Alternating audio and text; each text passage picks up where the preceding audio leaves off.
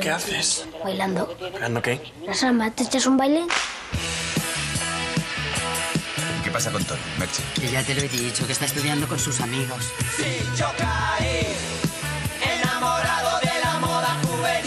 Vuelve la movida. 10 años de Cuéntame cómo pasó.